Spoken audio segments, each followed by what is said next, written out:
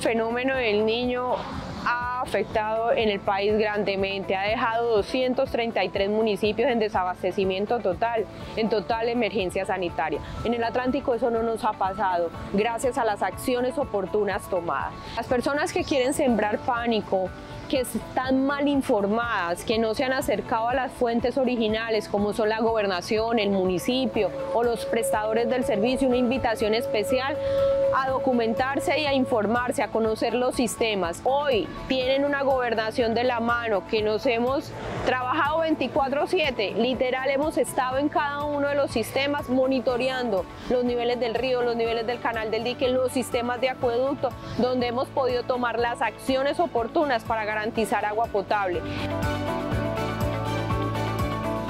Anteriormente solo Barranquilla tenía cobertura de agua potable. Fuimos creciendo como departamento a cada uno de nuestros 22 municipios adicionales en los cuales hoy se puede garantizar agua potable en cada uno de ellos.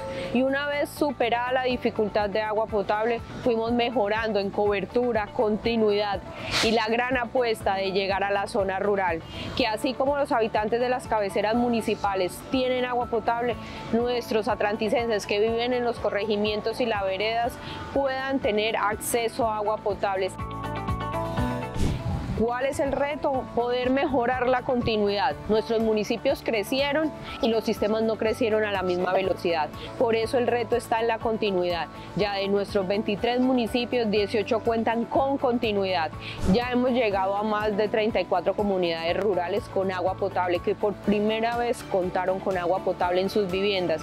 Y el reto es llegar al 100% de nuestros corregimientos y veredas con agua potable, con continuidad, con presión y con calidad calidad no es tan fácil llegar con agua potable. Tenemos un mar que poderlo llevar a agua acta que nos podamos tomar es muy costoso. Por eso nuestras únicas fuentes de abastecimiento corresponden al río Magdalena y al canal del dique. Y desde allí irrigamos todo el departamento. ¿Qué pasaría si no fuéramos un sistema regional?